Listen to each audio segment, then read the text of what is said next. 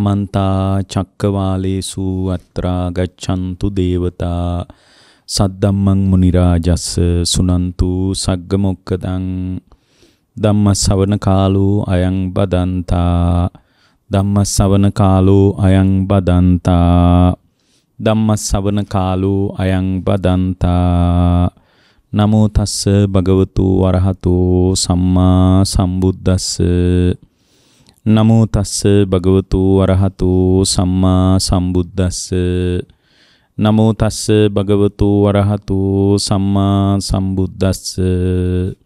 ඒ අපගේ ශාස්ත්‍රු සම්මා සම්බුදුරජාණන් වහන්සේට අපගේ নমස්කාරය වේවා.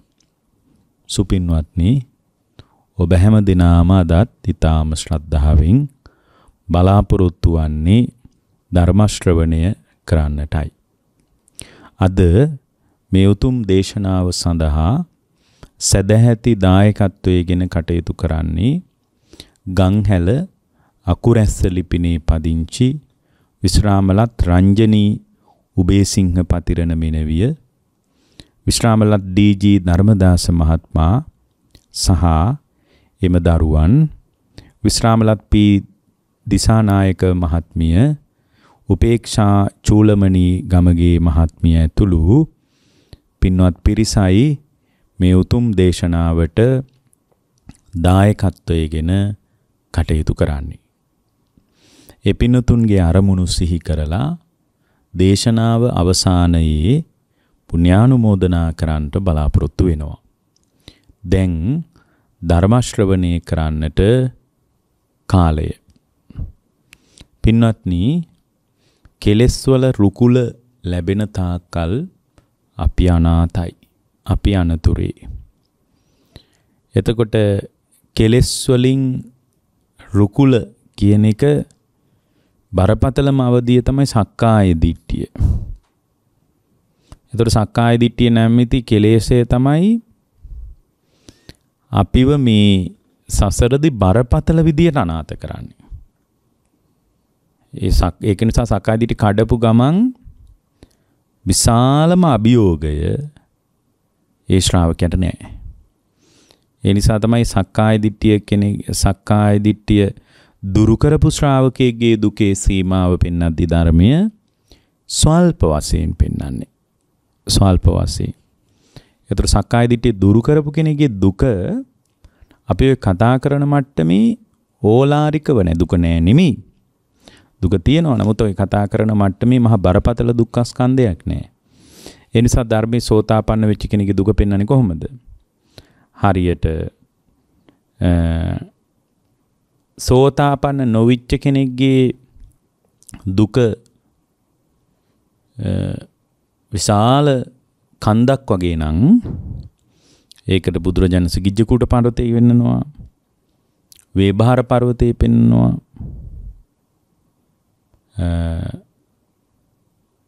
මේ විදිහට පෙන්නනවා එතකොට මේ දුක මහ විශාල එකක් නේ. නමුත් සෝතාපන්න වෙච්ච කෙනෙක්ගේ දුක පෙන්වන්නේ අතට ගන්න පුළුවන් ගල් කැට හතක් වගේ. පුංචි එක අතකට ගන්න පුළුවන් පොඩි ගල් කැට තියෙන්නේ. මේ ඇඟිලි වලට අහුවෙන. අනියෝගී ගල් කැට හතක් වගේ තමයි දුක. සෝතාපන්න නොවුණු කෙනෙක්ගේ දුක කොහොමද? මේ විශාල කන්දක් වගේ මහ පොළොව වගේ දුකක් තියෙනවා.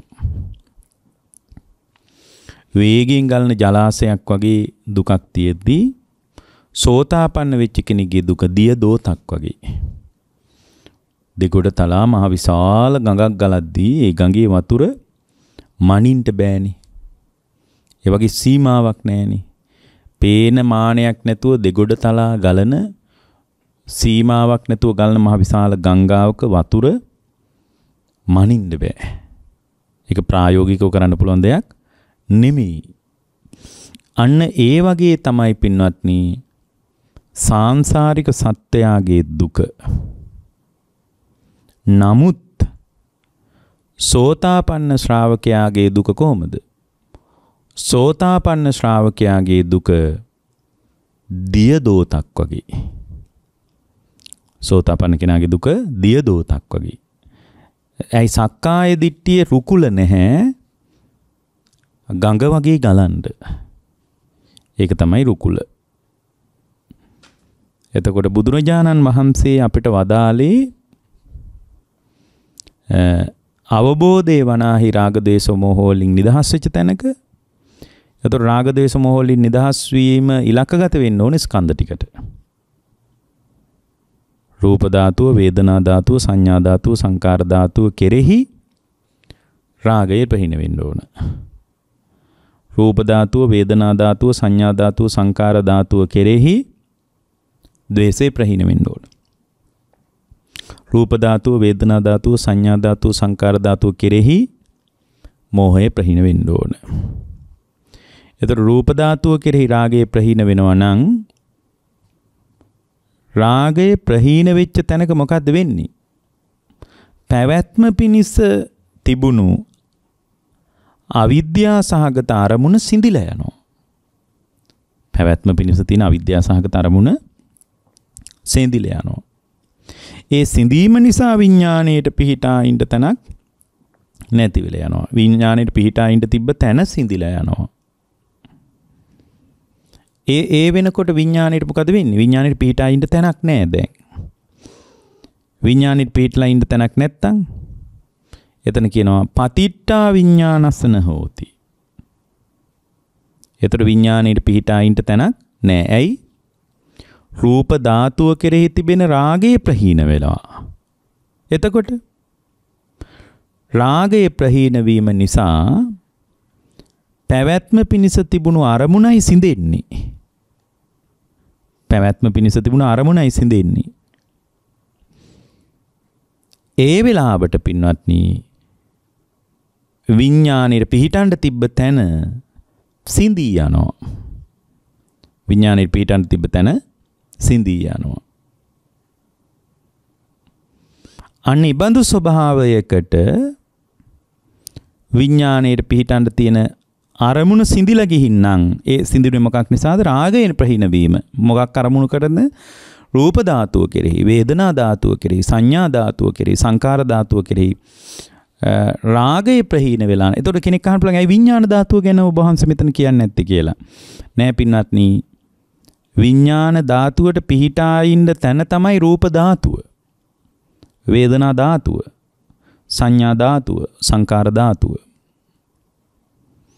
මොකද රූප වේදනා සංඥා සංකාර කරා පැමිණි කර්ම විඥානයේ තමයි රූපේ මරමුණු කරගෙන වේදනාව මරමුණු කරගෙන සංඥාව මරමුණු කරගෙන සංස්කාරම අරමුණු කරගෙන පවතින්නේ පවතින්නේ. රූප වේදනා සංඥා සංකාරම අරමුණු කරගෙන ආධාරය කරගෙන තෘෂ්ණා සහගත භාවයේ ආසේවනයේ ලැබෙමින් තමයි විඥානස්කන්ධයට වර්ධනය තියෙන්නේ. විඤ්ඥානස්කන්දයට දියුණුව තියෙන්නේ. විඤ්ඥානස්කන්දයට මහත්ගත බව තියෙන්නේ. මහත්ගත භාවය තියෙන්නේ. එතුළ දැම් මෙතන මොකද වෙන්නේ. මෙතන වෙන්නේ අර සක්කාය දිට්ටිය දුරුකිරීමේ රටාව ඇතුළේ ඉන්න ශ්‍රාවකයාට පිහිට තියෙනවා. පිහිට කියල කියන දුක නෑම නෙමේ දුක අඩුයි. පිහිට කියන අන්නේ එකටයි. මොකද හැම වෙලාවකම විඤ්ඥානස්කන්දේ රුකුල මොකක්ද සක්කාය දිට්ටිය. විඤ්ඥානීට උඩගෙඩි දෙනවා කියලා අපේ ගමී කතාවට කියන්නේ. විඤ්ඥානස්කන්දෙට උඩගෙඩි දෙන්නේ මොකක්ද. විඤ්ඥානස්කන්දෙට උඩගෙඩි දෙන්නේ සක්කාය දිට්ටිය. එකයි මේ රූප ධාතුව වේදනාධාතුව සංඥාධාතුව සංකාරධාතුව කෙරෙහි තිබෙන රාගයේ ප්‍රහීන වෙලා නම් රාගයේ ප්‍රහීන වෙනවා නම් රාගේ ප්‍රහීන වෙන ආකාරයට යා ආර්ය සත්‍යයෙන් විමසනවා නම් මාර්ග ඥානෙට එකතු වෙනවා නම් බොජ්ජංග ධර්ම ටික වඩනවා නම් මොකද වෙන්නේ? රාගයේ ප්‍රහීන වීම පිණිස රාගයේ ප්‍රහීන වීම පිණිස යාට මාර්ග ඥානයට එකතු වීම ඇසුරු කරගෙන පැවැත්ම පිණිස තිබුණ අරමුණයි සිඳිලා ගියේ. පැවැත්ම පිණිස තිබුණු අරමුණු ටික සිඳිනකොට ආරම්මන ටික සිඳිනකොට විඤ්ඥානයට පිහිටායින්ට තිබ්බ තැනයි ඒ කඩල දැම්මි. විඤ්ඥානයට පිහිටායින්ට තිබුණු තැනයි තැනයි ඒ දුරුවල වුණේ. එතකොට පතිට්ටා විඤ්ඥානස්ස නොහෝති. ඒ වෙලාවට විඤ්ඥානයට පිහිටන්ට තැනක් නෑ පින්වත්නි. විඥාණයට පිහිටන්න තැනක් නෑ. අවිරුල්හං අනබි සංකච්ඡ විමුක්තං අන්න ඒ වෙලාවට ඒ පුද්ගලයා තුළ දළුලා වැඩෙන්ට ඉඩක් නෑ එකයි මෙතන කියන්නේ. අවිරුල්හං අනබි අනබි සංකච්ඡ විමුක්තං. ඒ වෙලාවට අර විඤ්ඥානස්කන්දයට දළුලා වැඩෙන්ට විදියක් නෑ. ඒ දළුලා වැඩෙනකොට තිබ්බ රුකුල සක්කා ඉදිට දැක නෑ. ඒ වගේම රාගය ප්‍රහීන වෙලා නිසා පැවැත්ම පිණිස තිබුණ අරමුණු ටිකත් සිඳිලා දැන් මේ කතාවම අභ්‍යන්තරිකයිනි. මේ කතාවම මානසිකයිනි පින්වත්නි. අන්න ඒ වෙලාවට පීටලායින්ට තිබුණු තැන සිඳිච්චකම නිසා අවිරුල්හං අනබි සංකච්ඡ විමුක්තං දළුලාගෙන දැන් වැඩින්නේ විඥානය දළුලාගෙන වැඩින්නේ විඥානයේ විශේෂයෙන් සකස් වෙන්නේ දළුලාගෙන වැඩින්නේ විඥානයේ විශේෂයෙන් සකස් වෙන්නේ එතන මොකද වෙන්නේ? නිදහස් වෙනවා. කෙලෙසුන්ගෙන් කිසිත නිදහස් වෙනවා. නිදහස් වීම නිසා සැලීම නෑ. එහෙනම් මතක තියාගන්න හැම වෙලාවෙම හැ සැලෙන්නේ මොකක් නිසාද? නිදහස් නොවුණු නිසා. අවිමුක්ත ස්වභාවයක් නම් හිතේ තියෙන්නේ. රාග දේශ මොහ ප්‍රහාණය වෙලා නැත්තම් පින්වත්නි පැවැත්ම තී පිණිස අරමුණු ටික අකණ්ඩව පවතිනවා නම් ඒ අරමුණු ටික තණ්හා උපාදානෙන් අල්ලන්නටත් පුළුවන්කම තියෙනවා නම් විඥාණයට පිහිටන්න තියෙන තැන පරිස්සම් වෙලයි තියෙන්නේ. විඥාණයට පිහිටන්න තියෙන තැන පරිස්සම් වෙලයි තියෙන්නේ. ඒ පරිස්සම ඇතුලේ පින්වත්නි බුදුරජාණන් වහන්සේගේ ශ්‍රාවකයාට ඒ පරිස්සම ඇතුලේ බුදුරජාණන් වහන්සේගේ ශ්‍රාවකයාට අපි කොහොම කොහොම හරි පිහිටන්න තිබුණු තැන සිඳලා දැම්මොත් පින්වත්නි විඥානෙට පිහිටන්න තැනක් නැති වුණොත් එහෙම පතිට්ටා විඤ්ඥානස්සන හෝති. අවිරුල්හං අනබි සංකච්ච විමුක්තං. දළුලාගෙන වැඩෙන්ඩ දැන් ඉඩ නෑ. දළුලාගෙන වැඩෙන්ඩ ඉඩක් නෑ. විශේෂයෙන් සකස් වෙන්නේ නැහැ. විශේෂයෙන් සකස් වෙන්නේ නැහැ. එතන යාගේ සිත හැම වෙලාවකම නිදහස් වෙනවා. අවිමුක්ත ස්වභාවයෙන් යා අයින් වෙලා විමුක්ත ස්වභාවයට එනවා. එතකොට මොකද වෙන්නේ? විමුක්ත ස්වභාවය ඇතුලේ නොසැලී පවතිනවා. එහෙනම් මතක තියාගන්න හැම වෙලාවකම අවිමුක්ත ස්වභාවයක් නම් තියෙන්නේ. ඕගොල්ලෝ මොන මට්ටමේ හිටියත් රජකම් කළත් සැලෙන එක නවත්තන්න බෑ. රජකම් කළත් අධික සැපසහිත ජීවිතයක් ගෙව්වත් පින්වත්නි සැලෙන එක නවත්තන්න බෑ. සැලෙන එක නවත්තන්න බෑ. එහෙනම් සැලෙන එක නවත්ත ගන්න ඕන කෙනෙක් සැලෙන එක නවත්ත ගන්න කැමති කෙනෙක් පින්වත්නි මොකද්ද කරන්න ඕන? පින්වත්නි නිදහස් වෙන්න ඕන. සැලෙන එක නවත්ත ගන්න කැමති කෙනෙක් නිදහස් වෙන්න ඕන. එතකොට මේ නිදහස් වෙන ශ්‍රාවකයාගේ ස්වභාවය මොකද්ද? නිදහස් වෙන ශ්‍රාවකයාගේ ස්වභාවය තමයි රූප ධාතුව කෙරෙහි, වේදනා ධාතුව කෙරෙහි, සංඥා ධාතුව කෙරෙහි, සංකාර ධාතුව කෙරෙහි තිබුණු රාගේ ප්‍රහීන කරන එක. එතකොට පින්වත්නි පැවැත්ම පිණිස තිබ්බ අරමුණු ටිකයි හැම වෙලාවකම සිඳිලා යන්නේ. ඒ අරමුණු ටික සිඳිලා යනකොට පින්වත්නි ඒ ශ්‍රාවකයාගේ ශ්‍රිත තුල අර නීච කෙලෙස් වලින් සම්තෘප්තිමත් වුණු බවක් තියෙනවා නම් ඒ සම්තෘප්තිමත් බව අයින් වෙලා යනවා. සම්තෘප්තිමත් භාවයක් නෑ නෙමෙයි නීච කෙලෙස් වලින් සම්තෘප්තිමත් භාවයක් හිතේ නෑ. නීච කෙලෙස් වලින් සම්තෘප්තිමත් භාවයක් නෑ. හැබැයි අලෞකික සතුටක් යාට තියෙනවද නැද්ද? තියෙනවනේ. සිත වඩාගෙන යන කෙනෙකුට ඒකනේ අර ස්වාමීන් වහන්සේ නමක් අරහත්ත්වයට පත් වෙලා අහෝ සුකං අහෝ සුකං කියලා උඩ බලාගෙන කී කී හිටියා කියලා කියන්නේ. එහෙනම් මේක ඇතුලේ අලෞකික සතුටක්. තියුණා ලෞකික නෑ. ලෞකික සතුට හැම වෙලාවකම පෙරලෙනවා. කොයි වෙලේ පෙරලිලා කඩා වැටිලා බිඳ වැටෙයිද කියලා දන්නේ නෑ. අලෞකික සතුට හැම වෙලාවකම පින්වත්නි පෙරලෙනවා. එතකොට දැන් මෙතන අලෞකික සතුටක් ඇති වෙන්නේ ලෞකික සතුටක් ඇති වෙන්නේ අලෞකික සතුටක් තියෙන අලෞකික සතුට පෙරලෙන්නේ ලෞකික සතුටයි පෙරලෙන්නේ. එතකොට අලෞකික සතුට එහෙනම් නිර්වාණගාමී ශ්‍රාවකයා තුල අලෞකික සතුටක් හිත තුල උද්ගත වෙනවා මොකක් ඇසුරු කරගෙනද? රූප ධාතුව කෙරේ තිබුණු රාගය ප්‍රහීන වෙච්ච නිසා මම පැවැත්ම පිණිස අරමුණු ටික සිඳලා දැම්මා නේද? විඥාණයට පැවැත්මක් නෑ නේද? විඥානයේ පදනම් කරගෙන ගොඩනැගෙන නාම රූපයන් පැවැත්මක් නෑ නේද? නාම රූප ධර්මයන් ආස්වාදයෙන් අල්ලා ගන්නකමක් නැති වෙන මට්ටමට මාර්ග ඥානය ඇතුලේ හයියක් මට තියෙනවා නේද? කිය කිය අර ධර්ම මාර්ගයේ ඇතුලේදී ඒ ශ්‍රාවකයාට උපදිනවා අලෞකික සතුටක්. එතකොට මොකද්ද වෙන්නේ? තිතත්තා සන්තුසිතං තිතත්තා සන්තුසිතං අලෞකික සතුටක් ඇති වෙනකොට පින්වත්නි ඒ පුද්ගලයාට ප්‍රකම්පනයක් නැහැ. හැමදාමත් ඔගොල්ලෝ දන්නවද ප්‍රකම්පණේ තියෙන්නේ රාගානුසය, පටිඝානුසය, මානානුසය, විචිකිච්ඡානුසය, භවරාගානුසය, අවිජ්ජානුසය ආදී අනුසය මට්ටම ඇතුළෙමයි කම්පණේ තියෙන්නේ. දැන් කම්පනයක් නැහැ පින්වත්නි. අකම්පිත ස්වභාවයක් තියෙන්නේ. කම්පනයක් නැහැ. ඒ කම්පනයක් නැති තැනක සන්තුසිතත්තානං පරිතස්සති. ඒ සන්තුසිත ස්වභාවයේ ඇතුලේ පින්වත්නි ඒ ශ්‍රාවකයාට පිළිසරණක් තියෙනවා. ඒ ශ්‍රාවකයාට පිහිටක් තියෙනවා. එතකොට මේ අකම්පිත ස්වභාවය ඇතුලේ තමයි සම්පූර්ණයෙන්ම නිවෙන්නේ. කම්පණය නම් තියෙන්නේ මොකක් හරි අනුසයකින් එයා බැට කනවා. අනුසේ නැති තැනක කම්පණය කියලා කන්නේ අනුසේ කියලා ස්වභාවයක් නැති තැනක කම්පණය කියලා ස්වභාවයක් මතුවෙන්නේ නැහැ. හැම වෙලාවකම කම්පණය අනුසයත් එක්ක බැඳිලායි තියෙන්නේ. පරිතස්සං පච්චත්තං ඒව පරිනිබ්භායති. එතකොට එයා එයා තුල පිරිණිවීමක් මිසක් වෙන දෙයක් මතුවෙන්නේ නැහැ. අන්න ඕකට තමයි ධර්මී කියන්නේ රාගක්කයෝ නිබ්බාණං කියලා. මේ ප්‍රඥානාලිකාවෙත් නිතර ඇහෙනව නේද මේ වාක්‍යය? රාගක්කයෝ නිබ්බාණං කියලා. ඒ රාගක්කයෝ නිබ්බාණ කියන ඕන ඕකට.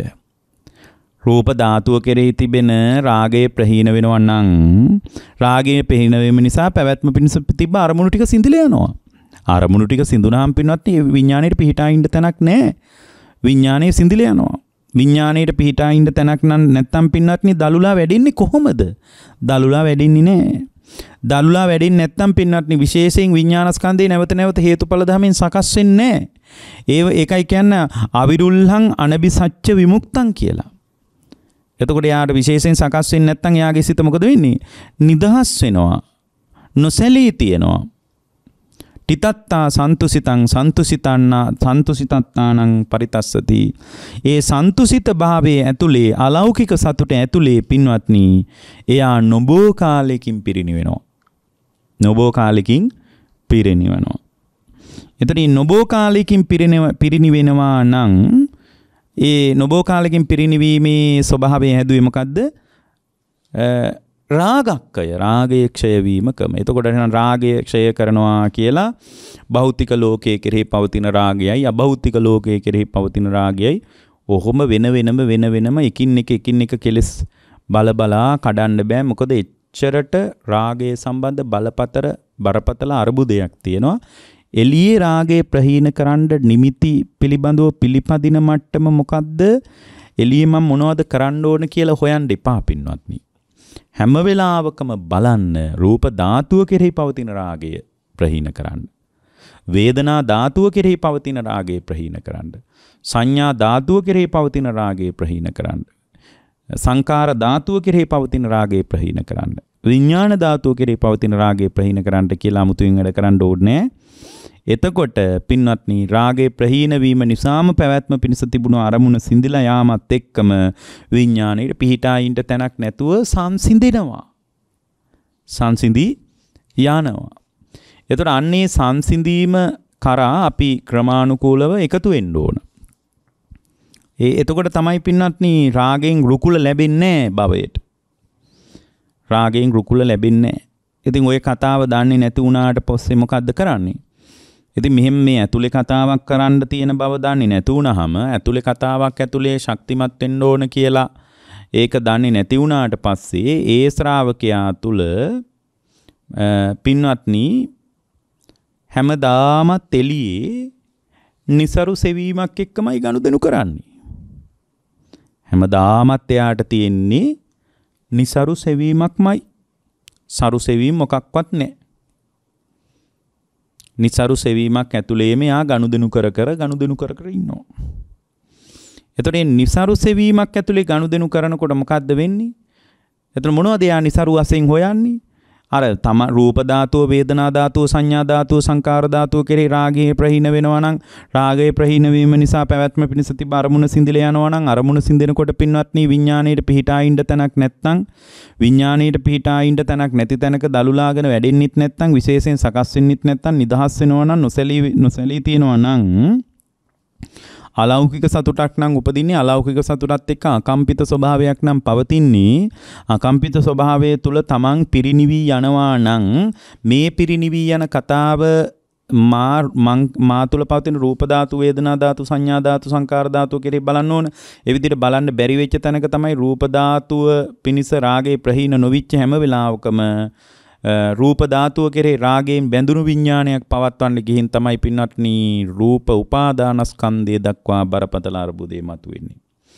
වේදනා ධාතුව කෙරේ රාගයෙන් තෙත් කරන්න ගියාට පස්සේ ඡන්දයෙන් තෙත් කරන්න ගියාට පස්සේ නන්දියෙන් තෙත් කරන්න ගියාට පස්සේ තෘෂ්ණාවෙන් තෙත් කරන්න ගියාට පස්සේ තමයි පින්වත්නි වේදනා ධාතුව විඥානට්ටිතියක් වෙන්නේ විඥානට්ටිතියක් වෙනවා නම් වේදනා උපාදානස්කන්ධයක්මයි එතන සංඥා ධාතුව කෙරේ රාගය ප්‍රහීන කරන්න බැරි වුණාට පස්සේ රාගයේ ප්‍රහීන වීම නිසා පැවැත්ම පිණිස තිබුණු අරමුණ සිඳලා දාන්න බැරි වුණාට පස්සේ ඒ බැරිකම ඇතුලේ රාගය ඇසුරු කරගෙනම පින්වත්නි සංඥා ධාතුව වේදනා ධාතුව සංකාර ධාතුව දෙස බලන තාක්කල් ඒ බැල්ම ඇතුලේ පින්වත්නි වේදනා උපාදානස්කන්ධේ සංඥා උපාදානස්කන්ධේ සංකාර උපාදානස්කන්ධය ආදී උපාදානස්කන්ධයක් එයාට පවතින.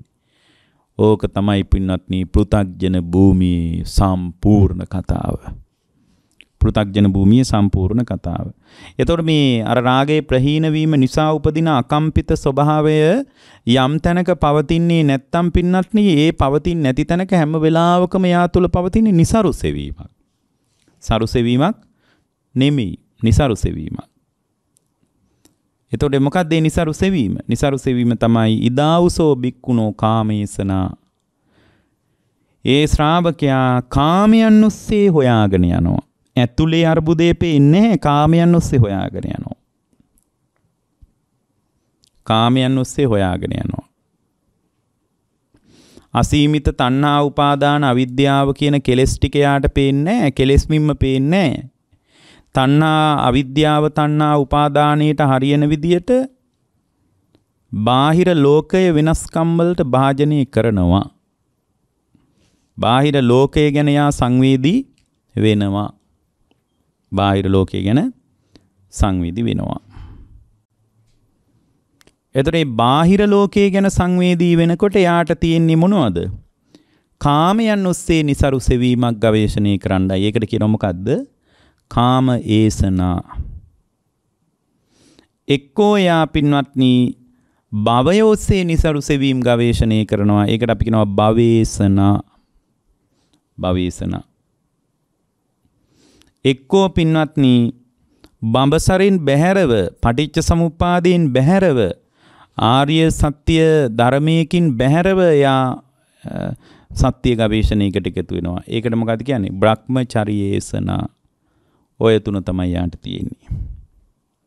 ඔය කාරණා තුන තමයි යාට තියෙන්නේ.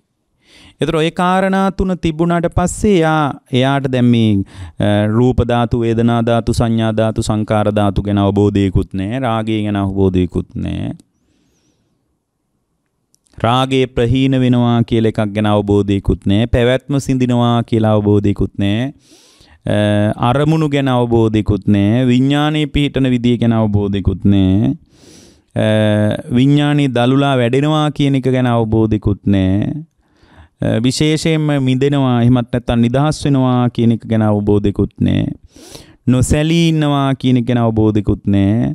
අලෞකික සතුට කියන්නේ මොකක්ද? එහෙම සතුටක් තියනවද නැද්ද කියලාවත් දන්නේ නැහැ. සමහර ටික නැහැ කියලාම පිළිගන්න පුළුවන්. අකම්පිත ස්වභාවය කියලා මොකක්ද කියලා එයා දන්නෙත් නැහැ. ඉපදීම ක්ෂය වෙනවා බඹසර ජීවිතය අමා නිවන කියන්නේ මොකක්ද කියලා මොකක්වත් දන්නේ එයාට හැම වෙලාවකම මේ සුන්දර සත්‍ය ධර්මයාට මුණ නොගැහෙන තාක්කල් එයා මොකද්ද කරන්නේ? එයා කරන්නේ පින්වත්නි වෙන අන් කවර දෙයක්වත් නෙමෙයි. එයා කරන්නේ කාමේසනා භවේසනා බ්‍රහ්මචර්යේසනා ඔස්සේ નિසරු සෙවීම එක්කම ගනුදෙනු කරනවා. හැම වෙලාවකම નિසරු සෙවීම එක්කම ගනුදෙනු කරනවා. එතකොට කාමී කාමයන් ඔස්සේ નિසරු සෙවීමක් පැත්තට යනවා. එතකොට මේ කාමී එතකොට දැන් අර මේ ඇතුලේ කතාව වගේම එළියේ කතාවක් දැනගන්න ඕනේ නැත්නම් ඇතුලේ ඇතුලේ වටිනාකම අඩු වෙන රටාවට හිතලා එළියේ වටිනාකම වැඩි වුණොත් ඒකත් අරුබුදයක් නේ. ඒකනේ අපි විදර්ශනා කරද්දී අජ්ජත් බාහිර වශයෙන්ම විදර්ශනා කරන්නේ අභ්‍යන්තර බාහිර වශයෙන්ම. එතකොට අභ්‍යන්තර බාහිර වශයෙන් අපිට විදර්ශනා කරන්න බැරි වුණොත් මොකද්ද වෙන්නේ? අභ්‍යන්තර බාහිර වශයෙන් විදර්ශනා කරන අජ්‍යත්ත බහිද්දාවා කියලා කියන්නේ ඒකයි. අභ්‍යන්තර බාහිර දෙපැත්තටම වේගින් වේගින් විදර්ශනා කරන්න ඕනේ නැත්නම් අභ්‍යන්තරය පිළිබඳව සම්‍යක් ප්‍රඥාවෙන් බලනකොට බාහිරින් විතර්ක හැදෙන්න පුළුවන්. බාහිර විදර්ශනා කරනකොට අභ්‍යන්තර විතර්ක ඇති වෙන්න පුළුවන්. ඒ නිසා බුද්ධ දේශනාව කියනවා අභ්‍යන්තර බාහිර වශයෙන් දෙපැත්තට විදර්ශනා කරන්න කියලා. අභ්‍යන්තර බාහිර වශයෙන් දෙපැත්තට විදර්ශනා කරනවා. එතකොට අභ්‍යන්තර බාහිර වශයෙන් අපි දෙපැත්තට විදර්ශනා කරනකොට මොකද්ද වෙන්නේ? ඒ අභ්‍යන්තර බාහිර වශයෙන් දෙපැත්තට විදර්ශනා කරනකොට කාමේසනා පහීනෝ හෝති. භවේසනා පහීනා හෝති. බ්‍රහ්මචරියේසනා බහීනා පහීනා හෝති. කාමයන් ඔස්සේ નિසරු සෙවීමත් දුර්වල වෙනවා. භවය ඔස්සේ નિසරු සෙවීමත් දුර්වල වෙනවා. බඹසර ජීවිතය බුද්ධ ශාසනයෙන් පරිබාහිරව විසඳුම් හොයාගෙන නිසරු සෙවීමක් ඇතුළේ ඉන්නවනම් ඒකත් දුර්වල වෙනවා. ඒ නිසරු සෙවීමෙන් අපේ හිත ගැලවෙනකොට මොකද්ද වෙන්නේ?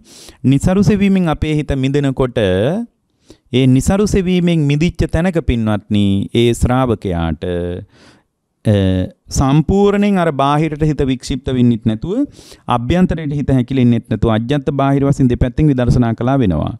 ඇතුලින් විදර්ශනා කරනකොට රූප ධාතුව කෙරෙහි තියෙන රාගේ ප්‍රහීන වුණත් ආදුනික ධර්ම මාර්ගයේ ඉන්න ශ්‍රාවකයෙකුට බාහිර කාමේසනාව, භවේසනාව, බ්‍රහ්මචර්යේසනාව ඇතුලේ කෙලෙස් හැදෙන්න පුළුවන්, වැඩෙන්න පුළුවන්. ඒ නිසා මේ ඇත්තටම નિසරු සෙවීමක් ඔස්සේ වාසය කරන ශ්‍රාවකයෙක් තුල බාහිර බාහිර අරමුණු ඔස්සේ අමාරුවේ වැටෙන්න තියෙන අවකාශය බරපතලයි. බරපතලයි. ඒ නිසා බුද්ධ දේශනාව පැහැදිලි කරනවා මහණෙනි මේ નિසරු සෙවීම මත පිහිටා හිටියොත් සාංශාරික අනාථකමක්මයි එන්නේ. එහෙනම් નિසරු සෙවීම අතර තමයි පින්වත්නි බුද්ධස් බුද්ධ ශාසනයේ නමිනුත් බුදුරජාණන් වහන්සේගේ ශ්‍රාවකත්වයේ ඇතුළෙත් අපිට ඉන්න වෙලා තියෙන්නේ નિසරු નિසරු සෙවීම ඇතුළෙම තමයි. එතකොට ඒ નિසරු සෙවීම අතර අපිට තියෙන්න ඕන පින්වත්නි පැහැදිලි අවබෝධයක්. කාමයන් පිළිබඳව පැහැදිලි අවබෝධයක් භවය පිළිබඳව පැහැදිලි අවබෝධයක් බඹසර පිළිබඳව පැහැදිලි අවබෝධයක්. බඹසර පිළිබඳව පැහැදිලි අවබෝධයක්. එතකොට එතනදී අපි දැනගන්න ඕන කාමයන් කියන්නේ කුමක්ද කියලා. කාමයන්ගේ නිධානීක බඳු ස්වභාවයක්ද කියලා දැනගන්න ඕන. එතකොට කාමයන් කියන්නේ මොනවද? වස්තුකාමීටයි ක්ලේශකාමීටයි. එතකොට දැන් වස්තුකාමයේ මත අපේ හිත පිහිටා ඉන්නවා නම් බරපතල අර්බුදයක්. ක්ලේශකාමයේ අභ්‍යන්තරිකයි. වස්තුකාමයේයි ක්ලේශකාමයේ දෙකම කඩන්න තමයි අජ්ජත් බාහිර වශයෙන් විදර්ශනා කරන්න ඕන. වස්තුකාමයේ කඩන්න බාහිර විදර්ශනා කරන්න ඕන. ක්ලේශකාමී කඩන්න අභ්‍යන්තර විදර්ශනා කරන්න. අජ්ජත් අජ්ජත්තංවා බහිද්දාවා අජ්ජත්ත බහිද්දාවා කියලා කියන්නේ එහෙනම් මේ කෙලෙස් වලම තියෙනවා ඇතුලේ සාක්ෂි ටිකක් සහ එළිය සාක්ෂි ටිකක්. හැම කෙලෙසේකම තියෙනවා. අභ්‍යන්තර නියෝජනයක් තියෙනවා බාහිර නියෝජනයක් තියෙනවා. අභ්‍යන්තර බාහිර ලෝකයේ මුණ ගැහෙන්නේ නැත්තම් පින්වත්නි ලෝකේ නිර්මාණය වෙන්නේ නැහෙනි. අභ්‍යන්තර බාහිර අත්දැකීම ඇතුළෙමනි ලෝකය හටගන්නේ. රූප තිබ්බ කියලා ඇස නැත්තම් ඇස් තිබ්බ කියලා රූප නැත්තම් ඇසයි රූපයයි අන්‍යෝන්‍ය වශයෙන් යැපෙන කම නැත්තම් ඒ යැපෙන කම ඇතුලේ මානසිකාරයේ ප්‍රත්‍ය කරගෙන විඥානස්කන්ධේ හටගෙන නැත්තම් ඕගොල්ලන්ට මගේ දරුවා නේද මේ කියලා උපදින්නේ මේ මේ මගේ ගෙදර නේද කියලා ගෙදර උපදින්නේ මේ මගේ ඉඩම නේද කියලා ඉඩම උපදින්නේ මේ අපේ පන්සල නේද කියලා පන්සල උපදින්නේ ඒවා හැම වෙලාවකම අපේ මනස තුල උපදිනවා. සෑම අවස්ථාවකම ඒවා අපේ මානසිකත්වයේ තුල උපදිනවා. එහෙනම් කාමේසනාවේදී බාහිර විදර්ශනාව තුල බාහිරට අපි ගැඹුරින් අවබෝධ කරනවා නම් අර નિසරු සෙවීම අයින් කරලා දානවා නම් ඒ નિසරු සෙවීම අයින් කරලා දාන්න කැමති ශ්‍රාවකෙක් අනිවාර්යයෙන්ම පින්වත්නි. අනිවාර්යයෙන්ම යා මොකද්ද කරන්න ඕන? අනිවාර්යයෙන්ම කාමයන්ගේ ස්වરૂපය දැනගන්න ඕන. වස්තුකාමයේ මෙයයි ක්ලේශකාමයේ මෙයයි කියලා එයාට පැහැදිලි නුවණක් තියෙන්න ඕන. ඒත් එක්කම පින්වත්නි යාට තියෙන්න ඕන නිදාන සම්භවය ගැන අදහසක්. වස්තුකාමය හෝ ක්ලේශකාමය නිදානයේ තමයි ස්පර්ශය කියලා දැනගන්න ඕන. ඒ වගේම තමයි කාමයන්ගේ වේමත්තතාවයේ විවිධත්වය දැනගන්න ඕන. ඇස කනනාසයේ දිවකය හරහා අත්දකින කාමයන්ගින් විවිධත්වයක් තියෙන සමහර අය රූප දකින්න කැමති සමහර අය ශබ්ද අහන්න කැමති සමහර අය ගඳ සුවඳ විඳින්න කැමති රන් සමහර රසයට කැමති කාමයන්ගේ වේමත්තතාවය දැනගන්න ඕන ඒ වගේම කාමයන්ගේ විපාකය දැනගන්න ඕන. මේ කාමයන් තමයි පින්වත්නි කාම ලෝකෙට අපිව අරගෙන ඉන්නේ. මේ කාමයන් ඔස්සේ ඔගොල්ලෝ දක්වන අවිද්‍යාසහගත ප්‍රතිචාරයේම දක් තමයි පින්වත්නි කාම ලෝකේ නොයේක් තැන්වල ඔබව අමාරුවේ වට්ටන්නේ ඒ අමාරුවේ වට්ටන කමේ ස්වභාවය ඔගොල්ලෝ අනිවාර්යයෙන්ම දැනගන්න ඕන පින්වත්නි. ඒ ස්වභාවය ඔගොල්ලෝ අනිවාර්යෙන් දැකගන්නේ නැතුව දැනගන්නේ නැතුව කවදාවත් අවබෝධයක් කරා ඔයගොල්ලන්ට යන්න පුළුවන් කමක් නැහැ. කාමයන්ගේ Nirodhe දැනගන්නත් ඕන. ස්පර්ශය නිරුද්ධ වුණොත් කාමයන් නිරුද්ධයි කියලා දැනගන්න ඕන. ස්පර්ශය කියන්නේ මේ මූලික ධාතු ස්වභාවයේ සුසංයෝගයේ සකස් වෙච්ච කම කියලා දකින්න ඕන. එහෙනම් කාමයන් කියන්නේ සකස් වුණු දෙයක් කියලාම දකින්න ඕන. ඒවා මත ස්ථාවර අර්ථයක් දීලා නිත්‍ය අර්ථයක් දීලා සුඛ අර්ථයක් දීලා ආත්ම අර්ථයක් දීලා ගනුදෙනු කරන එක එකතු වෙන එක වාසය කරන එකම මොන්න තරම්නම් මාං අවධානය මේ වැටෙන එකක්ද සංකත ලෝකයට ආවේනික தත්ත්වයේ කාමයන් සහිත පරිහරණය කරන தත්ත්වයට ආවේනිකමයි කියලා ඕගොල්ලන්ට පැහැදිලි නුවණක් පැහැදිලි අවබෝධයක් පැහැදිලි දැනුමක් තියෙන්න ඕන පැහැදිලි දැනුමක් තියෙන්න ඕන ඒතරේ දැනුම ඇතුලේ අපි වාසය කරනවා නම් ඒ දැනුම ඇතුලේ වාසය කරන ශ්‍රාවකයාට පින්වත්නි බුදුරජාණන් වහන්සේ වදාළ සීමාවෙන් විමස විමසා බලනකොට නිරුද්ධ කරන ප්‍රතිපදා විදියට ඕගොල්ලන්ට ප්‍රඥාවම පෙනී. ප්‍රඥාවම පෙනී. ප්‍රඥාව ඇසුරු කරගෙන සම්‍යක් ප්‍රඥාවකින් ලෝකේ බලන කම මට තිබුණොත් මම අරබුදේ වැටෙන්නේ නැහැ කියලා ඔබට පැහැදිලි ආත්මීය විශ්වාසයක් ඇති වෙයි. මේ ජීවිතය තුළ අවබෝධය කරා මට යන්න පුළුවන් කියන එක. මම මගේ කියලා ආත්මීය වශයෙන් ගන්න දෙයක් නැහැ. හැබැයි මට අවබෝධය කරා යන්න පුළුවන් වෙයි කියන අදහස ඇතුලේ ඒ අදහස අර්ථවත් කරන්න තමයි මේ ආත්මීය විශ්වාසයක් ඇති වෙයි කියලා මං කිව්වේ. ආත්මීය කියලා ගන්න දෙයක් නැහැ. මට පුළුවන් අවබෝධය කරා යන්න කියන විශ්වාසය අද ගොඩාක් දෙනෙකුට නැහැ. භවේසනාව කඩන්න නම් භවය ඔස්සේ નિසරු සෙවීම හොයමින් ඉන්නේ අපි. මේ මේ වෙලාවෙත් භවය හදමින් ඉන්නේ.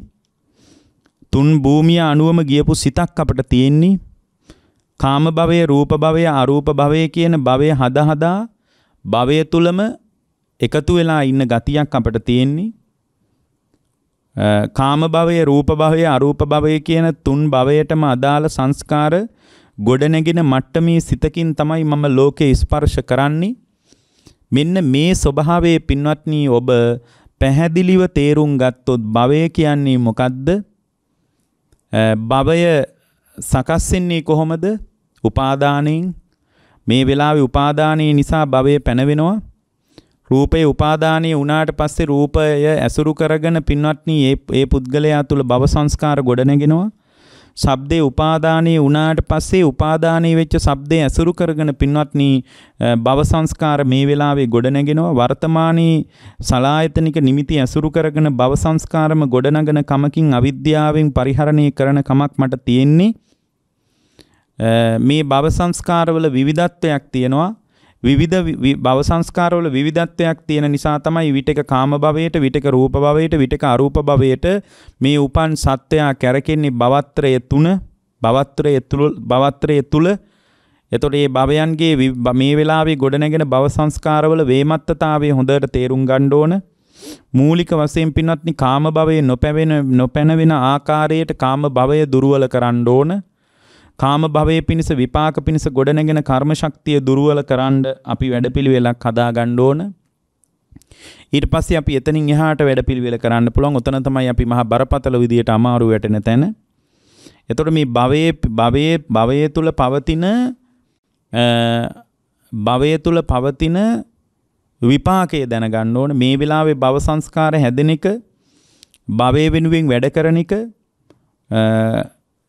සතර අපායට වැටෙන්නේ නැතුව සුගතියට යන්න කියලා හිතාගෙන ඉන්න එක ඇතුළේ භව තණ්හාවකින් වැඩ කරන කමක් තියෙන්නේ ඒ භව තණ්හාවකින් වැඩ කරන කම ඇතුළේ පින්වත්නි මම කටයුතු කරනවා නම් ඒ කටයුතු කරන එක නිසාම තමයි මට භවයේ විපාකයක් විදියට තුන් භවයේම කේන්ද්‍රගත වෙච්ච ಜಾතිය හම්බ වෙන්නේ භවපච්චයා ಜಾති. එන විපාකයක් දැනගන්න ඕන. භව නිරෝධයක් දැනගන්න ඕන. භව නිරෝධය කියන්නේ අමා නිවන. භව නිරෝධය කියන්නේ මොකද්ද? අමා නිවන. ඒක බුදුරජාණන් වහන්සේ වදාලා අර රූප ධාතු, වේදනා ධාතු, සංඥා ධාතු, සංකාර ධාතු කෙරේ රාගය ප්‍රහීන වෙලා රූප ධාතුව, වේදනා ධාතුව, සංඥා ධාතුව, සංකාර ධාතුව ඇසුරු කරගෙන රූප උපාදානස්කන්ධේ වේදනා උපාදානස්කන්ධේ සංඥා උපාදානස්කන්ධේ සංකාර උපාදානස්කන්ධේ දක්වා රාගය ඇසුරු කරගෙන රාගය පිනිස පවතින වැඩපිළිවෙල ඇතුලේ භවයේ සැකැස්මට උපකාර වන අරමුණුත් එක්කම උපාදානය කරගෙන අරමුණු ටිකයි කාම ධාතුවයි කාම ධාතුව කෙරෙහි පවතින රාගයයි කියන කෙලෙස් ටිකයි අල්ලගෙන එක මිටට අල්ලගෙන ඉන්න තාක්කල් පින්වත්නි විඥාණයට පිහිටා ඉන්න තැන තියෙනවා. පිහිටා ඉන්න තැන තියෙන නිසා විඥාණයට සිත්සේ වැඩෙන්න පුළුවන් විදියට අවකාශය ඇදිලා තියෙනවා. ඒ නිසා යා තුළ විශේෂයෙන් මිදීමක් නැහැ. ඒ නිසා ජාතිය පැනවෙනවාමයි. ජාතිය පැනවිච්ච තැනක තුන් භූමියම ජරා මරණ වලින් හිස් වෙච්ච තැනක් නෙමෙයි පින්වත්නි. තුන් භූමියම ජරා මරණ වලින් පිරිච්ච තැනක්. මේ தත්ත්වය නිරුද්ධ කරන්න තමයි අභ්‍යන්තර ආයතනයන්ගේ ස්වභාවයත් ස්කන්ධයන්ගේ ස්වභාවයත් අනිත්‍ය දුක්ඛ අනාත්ම වශයෙන් විමසන හැකියාවත් ආදී වශයෙන් සීල සමාධි ප්‍රඥාව නම් වූ ප්‍රතිපත්තියක උපකාරය අවශ්‍ය වෙන්නේ. ඔන්න ඔය විදිහට භවය පිළිබඳවත් පරිචයක් ශ්‍රාවකයාට ඕන. ඒතර භවයේසනාව භවයේ ඔස්සේ નિසරු සෙවීමක් ඇතුලේ ඉන්නවනම් මේ මහාචාර්යවරයෙක් වුණත් මේ નિසරු සෙවීම ඇතුලේ ඉන්නේ පින්වත්නි. මහාචාර්යවරයෙක් වුණත් මේ નિසරු සෙවීම ඇතුලේ තමයි අපිට වැඩ තියෙන්නේ. ඊළඟට බ්‍රහ්මචරියේසනා මේ බුද්ධ ශාසනයේ මතවාදයෙන් බැහැරව මේ බුද්ධ ශාසනයේ භාග්‍යතුන් වහන්සේ වදාළ පටිච්ච සමුප්පාදයෙන් බැහැරව බුද්ධ ශාසනයේ පෙන්වන විසුද්ධියෙන් බැහැරව බුද්ධ ශාසනයේ පෙන්වන සීල සමාධි ප්‍රඥාවෙන් බැහැරව නිවීම පිණිස අවකාශය හොයනවා.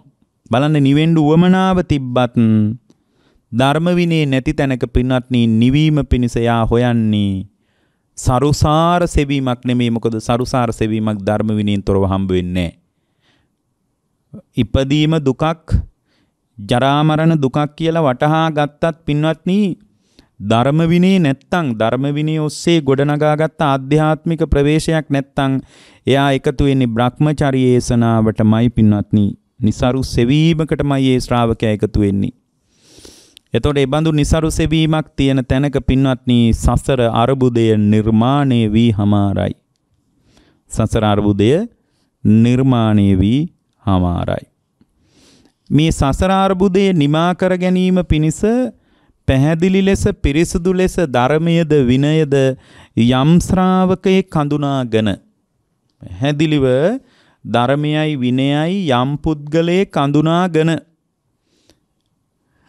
හේතුඵල දහම ඇතුලේ විමර්ශනයත් පටිච්ච සමුප්පාදයේ ඇතුලේ ශක්තිමත් වීමත් කියන අංග දෙක තියෙනවා නම් පටිච්ච සමුප්පාදයේ ඇතුලේ ශක්තිමත් වීමත් හේතුඵල දහම ඇතුලේ විමසුමත් කියන අංග දෙක තියෙනවා නම් පින්වත්නි ඒ ශ්‍රාවකයාට ඒ අංග දෙක ඇතුලේ කුසලතාවයත් එක්ක එකතු වෙච්ච කමක්මයි තියෙන්නේ.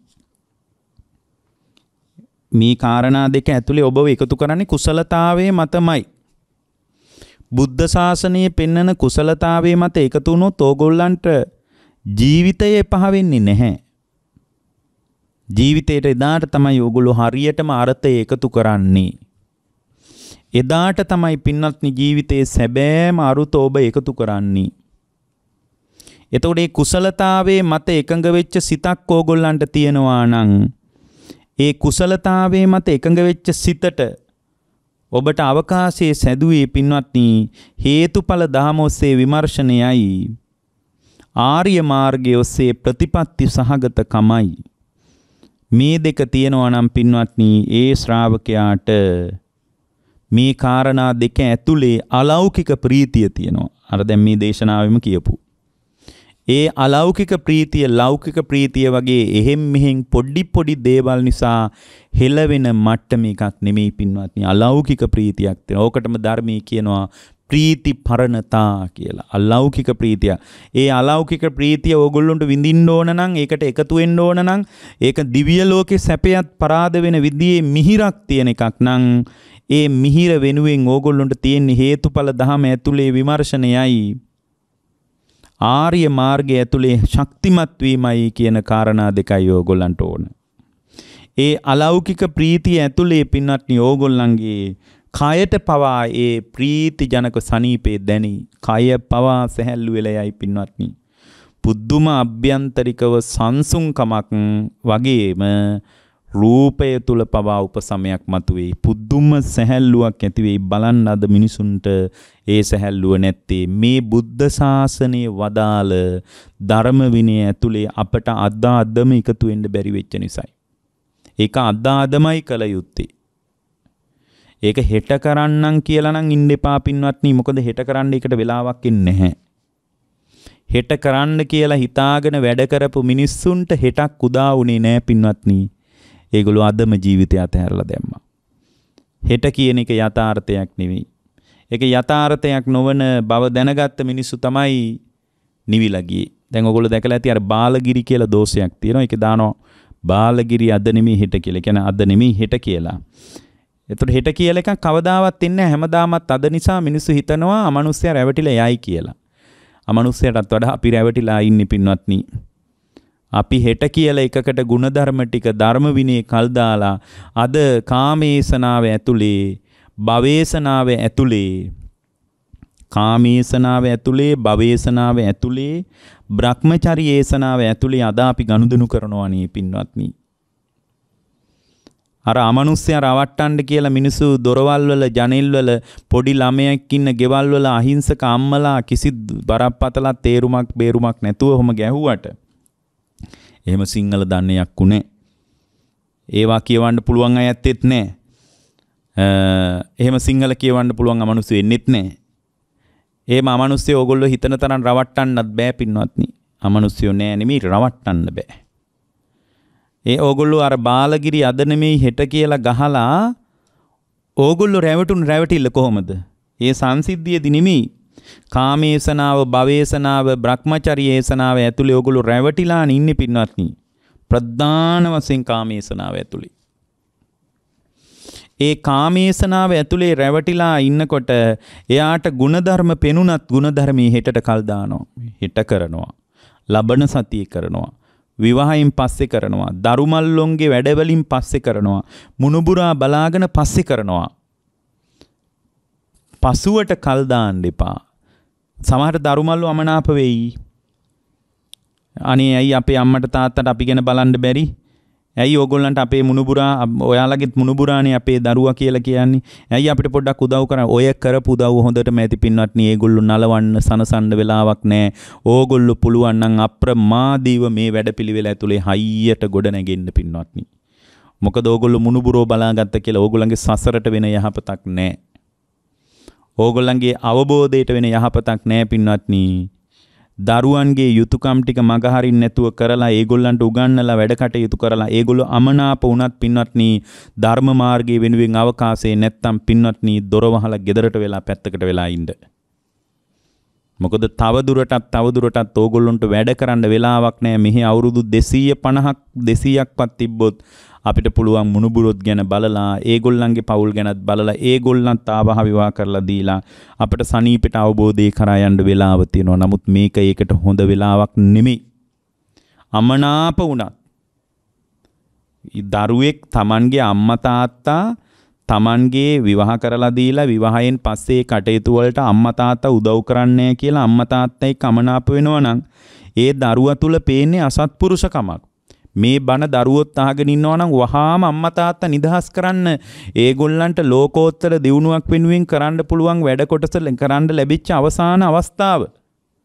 ඒ වැඩ ටික යාළට මග හැරුණොත් ඔගොල්ලෝ කැමතිද ඔගොල්ලන්ගේ අම්මා තාත්තා සතර පායට වැටෙනවට? ඒ නිසා පින්වත් දරුවනේ පුළුවන් තරම් සත්පුරුෂ වෙන්න. ඒ සත්පුරුෂකම එන්න ඉතින් ඒගොල්ලන්ට ධර්මයක් තියෙන්න එපායේ. ඒගොල්ලන්ටත් ධර්මයක් එහෙම අහන්න හම්බුනොත් තමයි මේ සුන්දර ධර්මයක ආශ්චර්යවත් අద్భుත වූ හැකියාව ගැන මේ ධර්මයක නිවෙන්න පුළුවන් කම ගැන අදහස් එන්නේ. මොකද ඒගොල්ලන්ටත් ධර්මයේ නැති වුණාට පස්සේ සත්පුරුෂ දරුවොත් අපිට මෙහි බලාපොරොත්තු වෙන්න එපා. ඇඟෑලුම්කම් නැති වුණත් තමනාපකම් ඇති වුණත් පින්වත්නි ඕගොල්ලන්ගේ අවබෝධාත්මක වැඩපිළිවෙලට ඍජු අනුග්‍රහය ගන්න එක නවත්තන්න එපා. ඒ ඍජු අනුග්‍රහය තමයි ඕගොල්ලන්ගේ ප්‍රධාන වැඩේ වෙන්න ඕන මේ වෙනකොට. ප්‍රධාන වැඩේ වෙන්න ඕන යුතුයකම් සැලකිය යුතු ප්‍රමාණයක් කරපු කෙනෙකුටයි මේ කියන්නේ. යුතුයකම් කරන කෙනෙකුත් පරිස්සම් වෙන්න ඕන යුතුයකම ඇතුලේ ධර්මයේ මතු කරගන්න. යුතුයකම ඇතුලේ ධර්මයේ මතු කරගන්න. එතකොට බලන්න දැන් මේ කුසලතාවයේ ඇතුලේ ඕගොල්ලෝ එකතු වුණොත් එහෙම ප්‍රීති පරණතා සුඛ පරණතා එයා තුල අලෞකික සැපයක් උපදිනවා. ඒ වගේම හරිම ප්‍රීතිමත්කමක් සහ සැපයක් ඇතුලේ යාට වාසය කරන්න පුළුවන්. ඒ වගේම පින්වත්නි එයාට ඕකට බුද්ධ දේශනාව කියනවා මේ සමාධිමය අත්දැකීමක් විදිහට ඒක කියන්නේ. නමුත් කුසලතාවයේ අත්දැකීම ඒක තමයි. ඕකට කියනවා චේතෝ පරණතා. ඒ වගේම මේ සිත මුළු මහත් ඉපදෙමින් මැරෙමින් යන උපන් නූපන් සත්‍යයගේ හිත සිත හැසිරෙන විදියට පේන්න ගන්නවා. ඇයි හේතුඵල ධහම පිළිබඳව එයාට පරිචයක් තියෙනවනේ. එතකොට එයාට පින්වත්නි හැම වෙලාවකම ප්‍රඥා ලෝකයෙන් බලන හැකියාවම එන්නේ. මේක මේ සමාධියේ පංචංගිකෝ සම්මා සමාධි කියන එක විස්තර කරන්න සමාධි ලක්ෂණ විදියට මේ ටික පෙන්වන්නේ. නමුත් සමාධිය වනාහි කුසලතාවේ මත ඒකාග්‍රතාවේ නිසා අපිට ලබන්න පුළුවන් ප්‍රබලම කුසලයේ අරහත්ත්වයේ නිසාත් මගඵල අවබෝධයේ නිසාත් ආලෝක පරණතාවය කියලා කියන්නේ එතනදී බලනකොට පින්වත්නි ප්‍රඥා ලෝකය විහිදුවාගෙන යථාර්ථවාදීව ආයතනික අත්දැකීම් ටික ස්කන්ධ ටික විමර්ශනය කරන්න පුළුවන් අවස්ථාවට අපි ටිකෙන් ටික ටිකෙන් ටික එකතු වෙන්න ඕන. ටිකෙන් ටික එකතු වෙන්න ඕන. වැදගත් දෙයක් මෙතන තියෙනවා පච්ච වෙක්කන ලක්කන නිමිත්තං.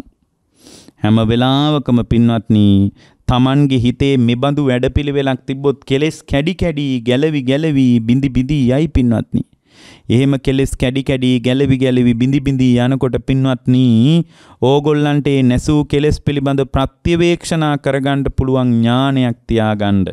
මෙබඳු කෙලෙස් කැඩිලා තිනවා මෙබඳු කෙලෙස් ඉතුරු වෙලා තිනවා ඉතුරු වෙන ඒවා කඩන්න මොනවද කරන්න ඕන කියලා.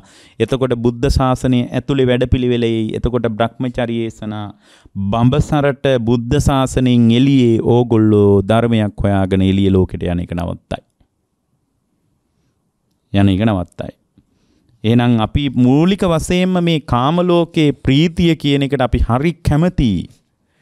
ඒ නිසා ඕගොල්ලෝ කුසලතාවයෙන් ප්‍රීතිය උපද්දවන්න. ඒකට අපි කිව්වා මේ දේශනාව ඇතුලේ අලෞකික සැපය කියලා. අලෞකික ලෞකික සැපේ ඕගොල්ලෝ දන්නවනේ. ඒ සැපේ මුසපත් වෙලා අන්තිමටම දුක උරුම වුණේ කියලා පින්වත්නි ඔය ඇත්තෝ දන්නවනේ. ඒක මම ඕගොල්ලන්ට දැන් කියන්න ඕනද නෑනේ. එතකොට ඕගොල්ලන්ට කායිකව පවා සැහැල්ලුවක් දැනේ ඇඟේ බර පවා අඩු වුණ බවක් තේරෙයි පින්වත්නි පුදුම ප්‍රබෝධමත් වේවි. හරිම ජව සම්පන්නකමක් ඇති වේවි. වයසට ගිහින් ධර්මයේ දියුණු කරත් පින්වත්නි නිකන් කය තුල ඇතෙක්ුණත් උස්සලා අතාරින්න පුළුවන් විදිහේ මහා අමුතු ජවයක් එයි ඇඟට. ජවයක් ඒක ධර්ම මාර්ගයේ ඇතුලේ ඇති වෙන එකක්. එතකොටම ඕගොල්ලන්ට මුළු මහත් සත්ව ප්‍රජාවගේම සිත හැසිරෙන විදිය, උපන් සත්වයාගේ පවතින විදියත්, නූපන් සත්වයාගේ ඉපදෙන විදියත්, ඒ උපන් සත්වයාගේ සිතේ පැවැත්ම හැඩය, ඒ සිතට පවතින ආහාර මොනවද, සිතක පැවැත්ම තහවුරු වෙන්නේ කොහොමද කියලා හේතුඵල ධම න්‍යායෝස්සේ ඕගොල්ලෝ සමස්ත සත්ව ප්‍රජාවගේම සිත හැසිරෙන විදිය දැනගත්තට පස්සේ ඕගොල්ලෝ ඊළඟට හතරවෙනි විදියට ප්‍රඥාවෙන් ආලෝකමත් කරගත්තට පස්සේ පච්ච වෙක්කන නිමිත් නිමිත්තං ඕගොල්ලන්ට පුළුවන් පින්වත්නි නැසූ Taman මේ මේ වැඩපිළිවෙලට આવොත් කෙලෙස් නැසෙනවාමයි. ඒ කෙලෙස් නැසෙනකොට නැසූ කෙලෙස් පිළිබඳව ඕගොල්ලන්ටම ප්‍රතිවේක්ෂණා කරලා බලන්න පුළුවන් හැකියාවක් ඒ හැකියාව ආවොත් ඒ හැකියාව ඇතුලේ ඕගොල්ලෝ බුද්ධ ශාසනයට අර්ථයක් දීලා ඉවරයි. බුද්ධ ශාසනයේ අර්ථයට ඕගොල්ලෝ සමවැදිලා ඉවරයි. ඒ ආර්ථය වෙනුවෙන් පිළිවෙත් පුරන සැබෑ බුද්ධ ශ්‍රාවකත්වයක් පිණිස මේ බුද්ධ දේශනාව ඔබ හැම දිනාටම උපකාර වේවා කියලා අපි දේශනාව સમાપ્ત කරනවා. අද මේ දේශනාවේ දායකත්වය ගංහැල අකුරැස්ස ලිපිනේ පදිංචි විශ්‍රාමලත් රංජනී උබේසිංහ පතිරණ මෙනවිය විශ්‍රාමලත් ඩීජී ධර්මදාස මහත්මයා සහ එම දරුවන් විශ්‍රාමලත් පී දිසානායක මහත්මිය උපේක්ෂා චූලමණී ගමගේ මහත්මිය ඇතුළු පින්වත් පිරිසයි මේ දේශනාවට සම්බන්ධ වෙලා තිබෙන්නේ. ඒ ඇත්තෝ හැම දිනාටම අපි ආශිර්වාද කරනවා. නිදුක් වේවා, නිරෝගී වේවා, සුවපත් වේවා. හැම දිනාටම දීර්ඝායුෂ සම්පන්නිය සැලසේවා. කායික මානසික සුව සහනය උදා වේවා. මේ ගෞතම බුදුසසුනේදීම මේ ඇත්තු හැම දිනාටම උතුම් චතුරාර්ය සත්‍ය අවබෝධ කරගන්නට මේ දේශනාමේ කුසල් හේතුපාරමිතා වේවා කියලා අපි අදිෂ්ඨාන කරනවා. අරමුණු කරගන්නවා MK ප්‍රේමාවතී මෑණියන්ට සහ පවුලේ සියලුම දෙනාටත් අසනීපව සිටින උද්දීපන ගමගේ පුතණුවන්ටත් මෙවර සාමාන්‍ය පෙළ සහ උසස් පෙළ විභාගයන්ට ඉදිරිපත් වන සිතුමිනි ලක්වින්දී උද්දීපන උද්‍යෝග ඔමාෂී ආසින්සා යන පින්වත් දරුවන්ටත් ආශිර්වාද කරනවා. පින්වත් දරුවෝ හැම දිනාටම නිදුක් නිරෝගී සුව සම්පන්නිය සැලසේවා දීර්ඝායුෂ සම්පන්නිය සැලසේවා හැම දිනාටම තම තමන්ගේ අධ්‍යයන කටයුතු සාර්ථක කරගන්නට මේ කුසල් බලවත් වේවා. ඩීජී ධර්මදාස මහත්මයාට සහ එම මෑණියන්ටත් එම පවුලේ සියලුම දෙනාටත් අධ්‍යාපන හදාරන මුණුබුරන් තිදෙනාටත් මේ පුණ්‍ය කුසලානිසංසයන් අනුමෝදන් වේවා මුණුබුරන්ගේ අධ්‍යාපන කටයුතු ਸਰුවප්‍රකාරයෙන්ම සාර්ථක වේවා හැම දිනාටම ජීවිතාවබෝධය ධර්මාවබෝධය පිණිස මේ කුසල් හේතු වාසනා වේවා කියලා අදිෂ්ඨාන කරනවා. පී දිසානායක මහත්මියට සහ වීපී පියසේන මහත්මාටත් එම පවුලේ සියලුම දෙනාටත් අධ්‍යාපනයේ හදාරන සියලුම දූ දරුවන්ටත් මේ පුණ්‍ය ශක්තිය අනුමෝදනා වේවා. අසාධ්‍ය තත්වයෙන් පසුවන චන්ද්‍රා දිසානායක මහත්මියට ඊ타ම ඉක්මනින් සුවපත් බව සැලසේවා. මෙවර ශිෂ්‍යත්ව විභාගයට පෙනී සිටින පමීර පමිර දම්සන පුතණුවන්ටද ඒ විභාග කටයුතු වලට ඊතා හොඳින් පෙනී සිටීමට ශක්තිය ධෛර්යය වාසනාව සැලසේවා කියලා අපි අදිෂ්ඨාන කරනවා. උපේක්ෂා චූලමණී ගමගේ මහත්මියට සහ යූජී ප්‍රේමදාස මුදලාලි මහත්මාටත් පවුලේ සියලුම දෙනාටත් නිදුක් නිරෝගී සුව සම්පන්නිය ප්‍රාර්ථනා කරනවා. මහරගම අපේක්ෂාරෝහල් ගතව සිටින නයනා නිල්මිනී දාපනගේ නැගණියටද ඊ타ම් ඉක්මන් සුව මේ උතුම් ධර්ම දානමේ කුසලයෙන් සැලසේවා අපේක්ෂාරෝහලේ සිටින සියලුම පින්වත් රෝගීන්ට කායික මානසික සුව සැලසේවා ජීවිතාවබෝධයේ පිණිස කුසල් බලවත් වේවා කියලා තදිෂ්ඨාන කරනවා. යූපී දියස් මහත්මාට සහ MK ප්‍රේමාවතී මහත්මියගේ දෙමව්පියන් ඇතුළු සංසාරගත සියලු ඥාතීන්ට අනුමෝදනා වේවා. ඒ ඇත්තන්ගේ භවගාමී ජීවිතේ සුඛිත මුදිත කරගන්නට මේ දේශනාමේ කුසල් බලවත් වේවා. ජීජී ධර්මදාස මහත්මයා සහ එම මැතිණියගේ දෙපාර්ශවයේ පරලෝසපත් සියලු ඥාති මිත්‍රාදීන්ට අනුමෝදනා වේවා. පී දිසානායක මහත්මියගේ සහ පියසේන මහත්මයාගේ දෙපාර්ශවයේ පරලෝසපත් ඥාති මිත්‍රාදීන්ට අනුමෝදනා වේවා. උපේක්ෂා චූලමණී ගමගේ මහත්මිය සහ යූජී ප්‍රේම ප්‍රේමදාස මහත්මයාගේ දෙපාර්ශවයේ මියගිය ඥාතීන්ට අනුමෝදනා වේවා සියලු ඥාතීන්ගේ භවය සුවපත් වේවා කියලා අදිෂ්ඨාන කරනවා. දේශකයන් වහන්සේ වෙච්ච අපටත් අපගේ පින්වත් දෙමව්පියන්ටත් නිදුක් නිරෝගී සුව ජීවිතාවබෝධය සැලසේවා භවය සුවපත් වේවා කියලා අදිෂ්ඨානය කොට තිබෙනවා. ඒ වෙනුවෙන් දෙය ඇත්තන්ට අපි ආශිර්වාද කරනවා.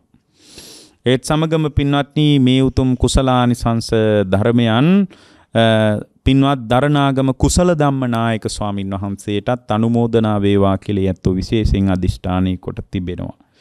ප්‍රඥා නාලිකාවේ නායක ස්වාමින් වහන්සේ ප්‍රධාන කාර්ය මණ්ඩලයේ හැම දිනාටමත් ඒ වගේම සියලු ලක්වාසී ලෝකවාසී පූජනීය මහා සංඝරත්නයටත් සියලු දෙවියන්ටත් මේ කුසල් අනුමෝදන් වේවා.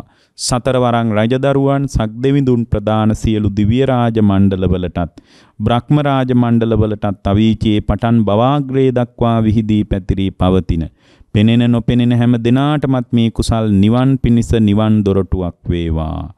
ආකාසට්ටා චුම්මට්ටා දේවා නාග මහිද්దికා පුඤ්ඤන්තං අනුමෝදිත්වා චිරං රක්칸තු සාසනං ආකාසට්ටා චුම්මට්ටා දේවා නාග මහිද්దికා පුඤ්ඤන්තං අනුමෝදිත්වා චිරං රක්칸තු දේශනං ආකාසට්ටා ච බුම්මට්ටා දේවා නාග මහිද්దికා පුඤ්ඤන්තං අනුමෝදිත්වා චිරං රක්칸තු තං සදා ඔබ හැම දිනාටම තෙරුවන් සරණයි.